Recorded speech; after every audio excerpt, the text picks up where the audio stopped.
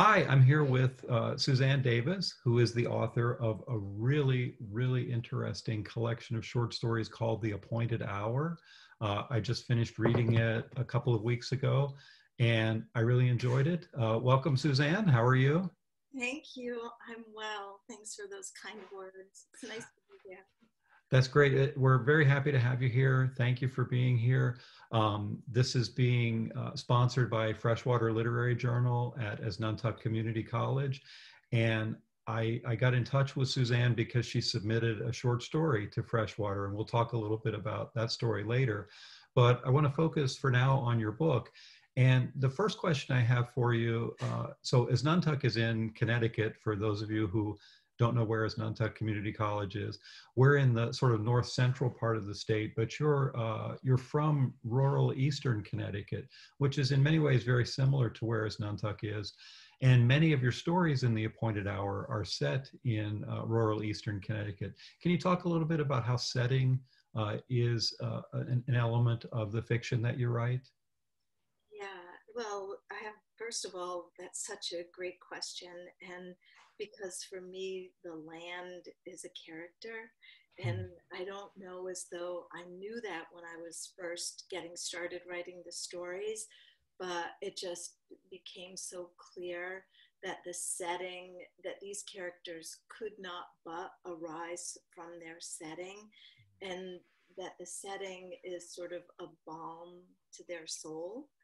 Um, hmm. and so the setting means a lot to me. I still feel very much sort of an advocate for the land, sort of a voice um, for those who live on it, and for a way of life that we, as a general culture, may not see so much out in prominently in the literature of the day.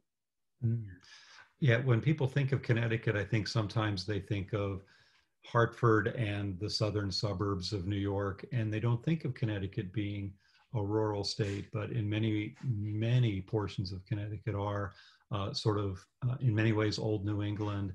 Um, in addition to the, the place uh, as, uh, as an element of your stories, time is an, is an element as well. Uh, most of the stories seem to be set in sort of a generalized present but they also have a sense of timelessness where they're not pinned down by specific events on a calendar. Can you talk a little bit about uh, the sense of time, particularly with the stories that are, are present day stories? Well, it's interesting because I grew up on a farm in uh, eastern Connecticut. My dad has a dairy farm. I come from six generations of farmers. My mm. dad and my brother still run that farm but the sense of time there is different still.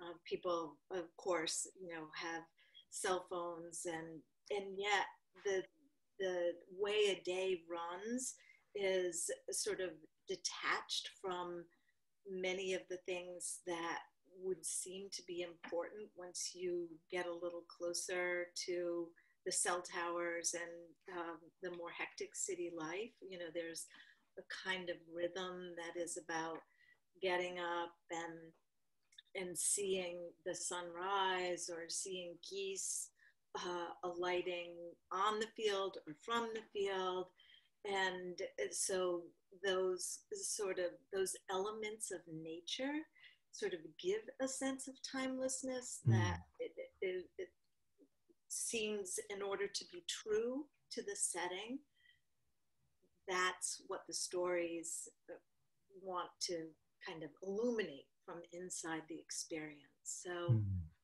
um, and often I think that for me, my experience at least, and and of the people who I love who are still on the land, are in the stories of those generations and so so many times growing up i was hearing stories and it was seemed so uh, powerful the way that the stories of the people from the past were still influencing the lives of people from the present which i think is just true of our of us as human beings yeah Yeah, I, w- one really interesting element. While most of the stories are contemporary, there are two of the stories that are set hundreds of years ago.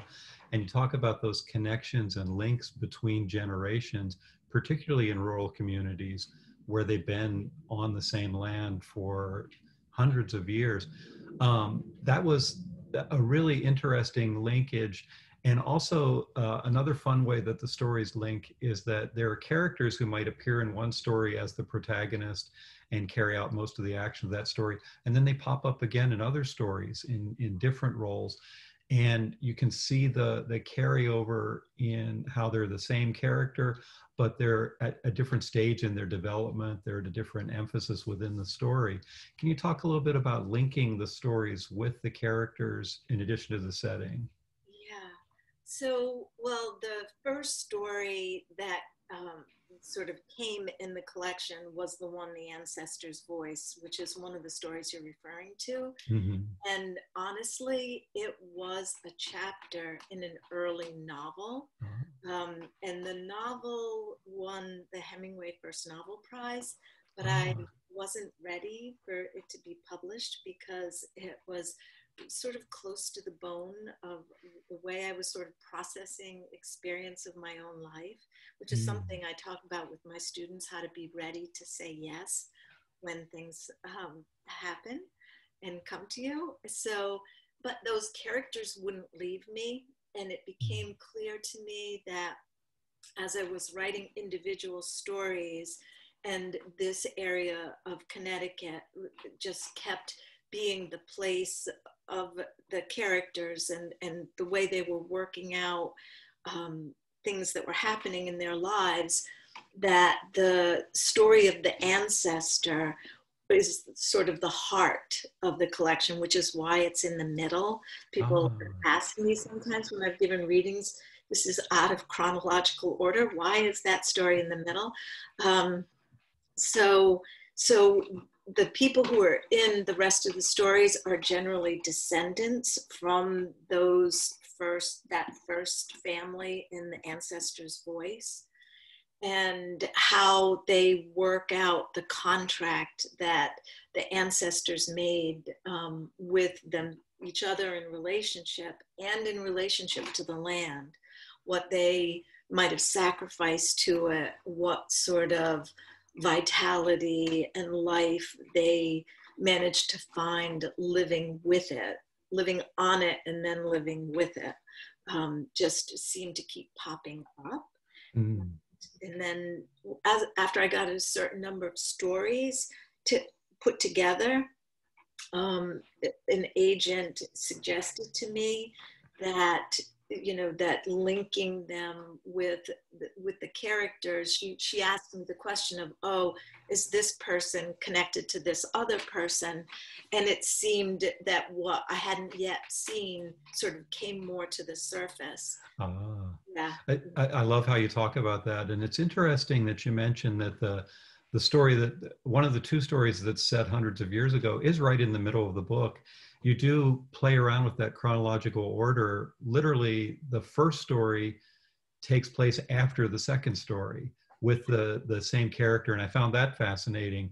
And i confess a little frustrating to read at first but then very rewarding as you went along. So i admire that that you're not afraid to sort of challenge readers a little bit frustrate them a little bit but then there's a payoff as you go along. And and one thing that i really noticed about your stories is that pretty much every character suffers some kind of loss, some kind of tragedy. Uh, there may even be acts of violence at the centers of the stories. And yet, all the characters seem to retain sort of a sense of hope and almost an optimism, and, and their behavior carries them forward as if life is still worth living despite these horrible things that happen with the story at the center of the book way in the past and with many of the contemporary stories. Do you want to talk a little bit about that sense of characters remaining not like Pollyannius, however that word is pronounced, Pollyann uh, like, uh, but still hopeful and optimistic? Yeah, well, I think that that was such, um, first of all, just I appreciate that you that up in the stories and that we get a chance to talk about it. I mean, I, I didn't do it consciously, but I mm. it is something that is I believe that myself. You know that sort of having hope in um, in humanity and what uh, James Agee, who's one of my favorite authors, um, called a divine humanism, sort of the, mm.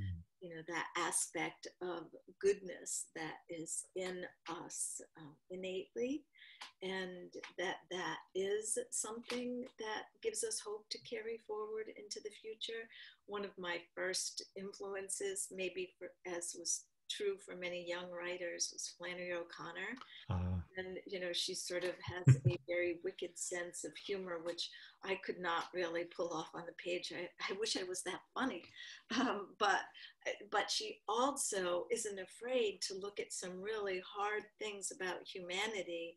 And, and yet you feel by going through the journeys with the characters, how one can strengthen a sense of resilience or understanding to kind of navigate um, life, which is a gift always. Yeah. That's great. That's it. Flannery O'Connor. That's a wonderful connection to uh, your writing. In many ways, I can see that inspiration. Um, and another thing that that connects with uh, her writing and a lot of really good short story writing is that the characters in the appointed hour uh, well there's the the sense that uh, a, a, lot of people look for really sympathetic characters in writing in, in what they read. And i found some of the characters very sympathetic. You really connected with them. But some of them i was pretty angry with. And uh, you know in particular uh, ricky in the story uh, the laws the law of gravity I was very angry with him, and it made the story much stronger. So, uh, can you write about, or excuse me, can you talk about writing stories with characters who who do seem to know what's right, do seem to have a good moral sense, but don't always do the right thing?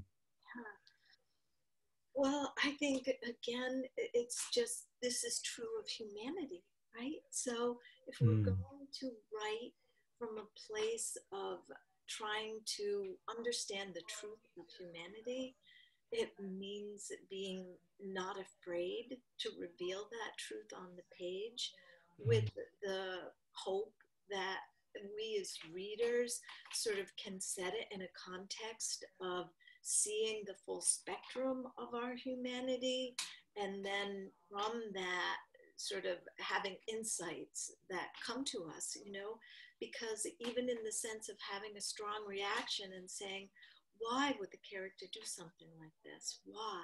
Mm. Which is, you know, and it is, it's a disturbing thing. Um, so I, I hope that, I guess that sometimes those stories sort of hook me or capture me as a writer because I myself am trying to understand how can there be aspects of our humanity that um, where people would make these choices. And yet it seems that if we don't, at least in some way, reflect on them on the page and in our lives, we, we, they, have, they have power over us instead of us having power over them. That's a really good way to put it. That's uh, the connections with life that not all of the people we know in real life are sympathetic. Uh, many people do things we don't understand, and we uh, that anger us and reflecting that in fiction works really well and i think it, it it's uh, one of the greatest strengths of, of your book is how the characters are are portrayed realistically sympathetically but realistically at the same time and it works really well. One of my favorite stories in the book is the one called choices and uh, there's a really interesting structure there uh, and it's in many ways it's a really simple structure because you frame it with it beginning in the present and then flashing back to a really important event that helped shape what happens in the present and then coming back to the present at the end uh, to sort of have a resolution um, but still be a little bit open-ended and um, can you talk a little bit about about that structure uh, i guess uh, the big thing for me is that they almost seem like different characters in the flashback and yet you can see how they are the same and i thought that was really interesting Yeah. well, I think um, that the structure in that story in the end, sort of is a microcosm of the structure of the whole collection. Mm. The idea that we find ourselves in a moment of time in our present day, whatever our lives may be, and that there is something from the past that might still be uh, just a thread of, of an opportunity, an invitation to, to understand ourselves better, to forgive, you know, so that the way that we love in relationship and in, in our world might be a more um, i don't want to say i don't know the best way to put it that we would that we would be free you know mm.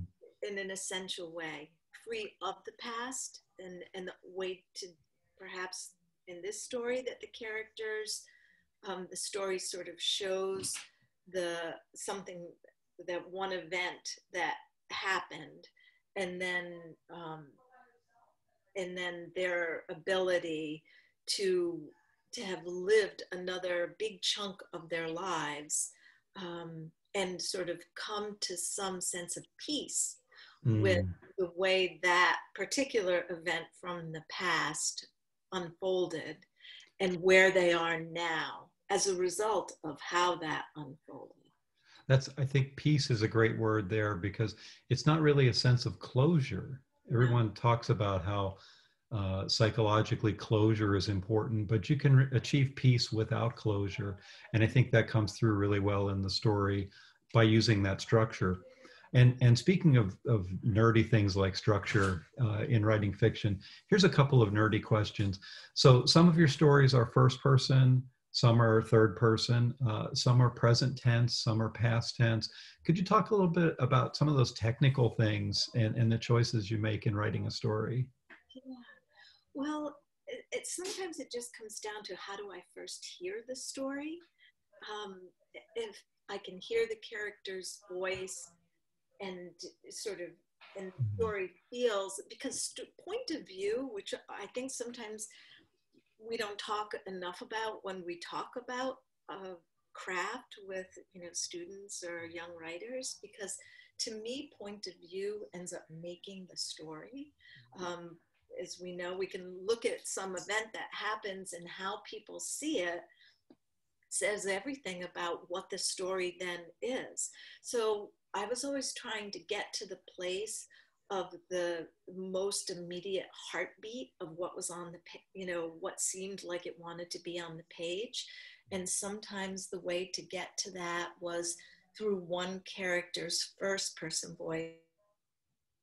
It was a third person voice and sometimes it, it seemed that whatever then that character was experiencing that the reader uh, could experience as well needed to be in present tense, but mm. sometimes it needed to be in past tense so that the vantage point from which the character was looking at it could layer in some of that um, perspective. And yeah.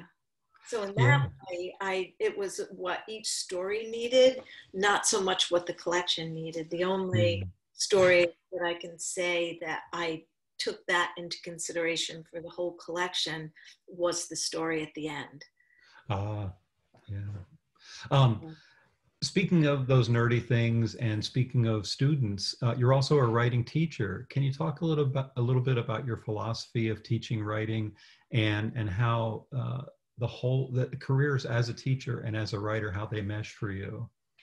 Well, I will say that I love teaching, and that for me, it's been a really kind of exhilarating thing to both be able to write and which is such a solitary endeavor, as you know, and then to be able to talk about stories with other writers, you know, young writers who really they've given me such a tremendous sense of hope. My students, I, I love them, and, you know, when they come into the room and they've put everything on the page and they're so willing to be vulnerable. And mm. I just find that to be so absolutely refreshing, you know, that they want to use their words and their stories to um, to make meaning and whatever you know and they want to believe that they can take that and make a career from it so mm. they're not jaded you know by um, and they and so that's been a great thing sometimes i will say it's a bit of a challenge trying to navigate both things and mm. um, you know i often find that uh, if i a chunk of writing like a novel will have to wait until a break like the summer or between the semesters. Um, but sometimes I just, you know, I'll tell myself, and I say this to the students, like 300 words a day. Mm. And so no matter if it's a busy semester or not, it may not be early morning, maybe it's late at night, it might be three o'clock in the morning. You know, I can just open my computer and and get 300 words a day and keep my head inside of the writing. Yeah, that's that's so important. I know Anne Lamott talks about writing like the small window. Pick out a small piece of whatever it is you're writing, uh, focus on that, get that down, and then expand it. Look farther into that window. She also talks about you know writing bird word by word, bird by bird, uh, where you take a what you can do at that moment, you get it done, and then come back and do more, and it eventually accumulates. And I think balancing the writing and teaching careers that's so important. Um, and I find the students pretty inspiring as well. It is really, you know, it's it, when teaching creative writing, sometimes you get some students who are clearly there just to check off a box on a required uh, set of courses, and they're just recycling something they wrote in high school, and they they think it's creative writing, it must be wonderful and easy. But it really is inspiring when those students, the ones who don't think they're going to grow as writers, you give them a little bit of feedback, you give them a little bit of advice, and really read what they've written and see where you can find ways for them to make it even better. Uh, and they they take off and they really get something from that that can be really inspiring. Um, so uh, the story that you sent to Freshwater, uh, the story called uh, Why Mrs. Morrison Was Too Busy to Die. So, very intriguing title. Uh, when I first read it, I thought we were going to have some kind of a ghost story. Uh, and this story also was like some of the ones in your collection, where when I first started reading it, I was thinking, there's something going on here, but I'm not quite sure what. And then the story has an, I guess you could call it sort of a subtle epiphany where you realize something and you think, wait, do I have that right? And then it goes off in a direction that's both surprising and really well motivated. Um, can you talk a little bit about that story? Yeah, that story has a really sort of personal, um, uh, it's personal for me. Uh, just to be my my brother struggled with addiction, and, ah. and, and, he died as a result of um, you know his body and, and the addiction. Mm. And so I will just say that the opioid crisis in America is, uh, to me, just a, a, a, source of great. It makes me angry mm. at the way um, the so many aspects of it. You know, it is to me a um, addiction of despair in rural America, mm. and um, and so this character and the way she I don't want to give too much of the story away, but yeah. anyway, so you know what's going on in that story is something that I see going on today all across mostly rural America, but it isn't only rural America. Yeah. overshadowed right now because of the pandemic. But interestingly, it seems to me that there, you know, that if I, that Mrs. Morrison could easily be like a frontline worker in the pandemic as mm. much as she is, you know, is trying to provide um, comfort for those families who have lost a loved one to addiction and so where we are culturally at this moment with you know, um, with how to help people um, sort of in the midst of their loss and what Mm. to do to remedy those situations um, is, uh, is a question for all of us. Absolutely, and it's it, it's really universal too because even though it is set in a small town, rural type setting, uh, there were elements to it that could very easily be related uh, related to by people who live in urban areas, uh, and particularly near the end of the story. Uh, where it goes in a direction that that I, as a reader, was not expecting but could understand. Um, it, it's it's really universal. It's it's more than uh, like other people's problems. It's something that we can all connect with and all relate to. And I think uh, most of your fiction works that way in the book as well. So that story will be in Freshwater Literary Journal uh, this spring. Usually around May we publish. So that's something for folks to look forward to. Uh, what else can we look forward to? What's next for you as a writer? Uh, well, I the next thing I'm working on, I just finished a draft of a novel. So Ah, I'm now trying to get that to find its home. Um, and that is a book called Stray Dog Watch Over. And Ooh. it comes back to this section of Connecticut um, and sort of braids together the stories of two of two siblings living very different lives and ah. so hopefully you know we'll we'll get that a home and um, the next thing that i'm writing is a book called uh, as long as the sweet grass grows Hmm. and so it it's set in uh, sort of the fictional new london area norwich in the in the short story collection the ancestor's voice in the fictional town of Bellaport. Is sort of that Norwich, New London area of Connecticut.